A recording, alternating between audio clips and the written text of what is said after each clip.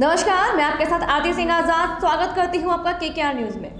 पिपरिया का रायखेड़ी मामला मुख्यमंत्री सहित गृह मंत्री तक पहुँच गया है। सवाल ये उठता है, यदि राजस्व के अधिकारी व जवाबदार खनिज निरीक्षक ने कितनी बार अवैध उत्खनन पर जिला खनिज अधिकारी सहित जिला प्रशासन के वरिष्ठ अधिकारियों को यहाँ हो रहे अवैध उत्खनन को लेकर कितनी बार निरीक्षण कर अवैध उत्खनन के संबंध में प्रतिवेदन दिया है कि यहाँ अवैध उत्खनन हो रहा है? क्योंकि एक निर्दोष व्यक्ति की जान जाने के मामले में अब कई सवाल इन जिम्मेदार अधिकारियों की कार्यप्रणाली पर भी खड़े हो रहे हैं।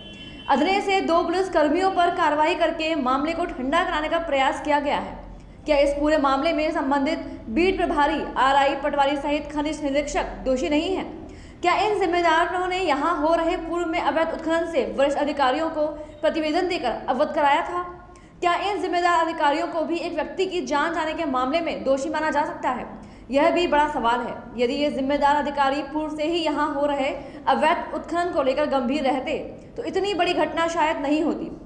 क्योंकि हमारे ज़िले के कलेक्टर महोदय सहित पुलिस अधीक्षक महोदय अत्यंत गंभीर हैं। उन्हें पूर्व में ही यदि इन अधिकारियों ने पहले ही कोई सूचना दी होती तो आज ऐसी स्थिति रायखेड़ी में जो हुई, शायद नहीं होती।